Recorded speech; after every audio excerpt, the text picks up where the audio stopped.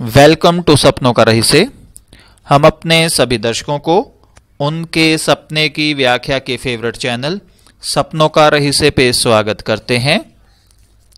आज हम जिस मुद्दे पे चर्चा कर रहे हैं, वो है सपने के अंदर केकड़ा देखना या केकड़े का मांस खाना। अगर कोई व्यक्ति सपने के अंदर केकड़ा देखे तो इसका मतलब है कि सपना देखने वाला जो है वो किसी ऐसे मामलात में, ऐसे कामों में फंसेगा, जिनकी उसे समझ नहीं आएगी।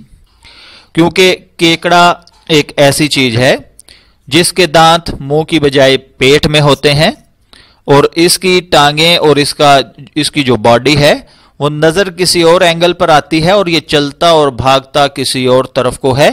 ये इतना जहरीला या इतना नुकसानदेह तो नहीं होता, लेकिन इसका डर और खौफ बहुत होता है।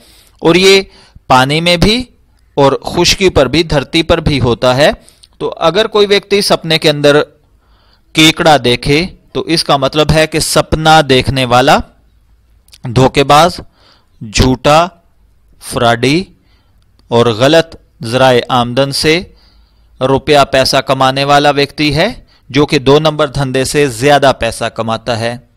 अगर कोई व्यक्ति सपने के अंदर देखे कि उसके पास बहुत सारे केकड़े हैं तो इसका मतलब है कि सपना देखने वाले को दो नंबर धंधे से बहुत ज़्यादा माल प्राप्त होगा।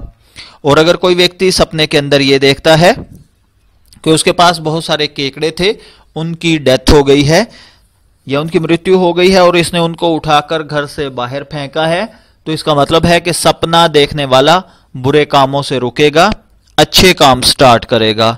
और अगर कोई व्यक्ति सपने के अंदर देखे कि उसने केकड़े का मांस खाया है तो इसका मतलब है कि सपना देखने वाला जो है, वो बुरा माल कमाएगा, उसे अपनी फैमिली पर और अपने ऊपर यूज़ करेगा और एक लंबे समय तक जीवित रहेगा।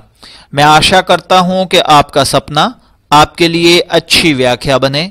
अनुमति चाहेंगे, फिर मिलेंगे किसी नए सपने की व्याख्या के साथ।